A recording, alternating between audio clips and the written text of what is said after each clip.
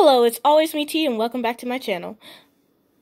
I just got a drawing tablet, so expect to see some animations coming soon. I'm so excited. This is my first ever drawing tablet.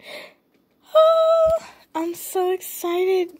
I hope you guys are all having a great quarantine, staying safe, staying clean, and keeping out of boredom. I know I've been gone for a long time and this is going to be a really short video, but new animations coming soon.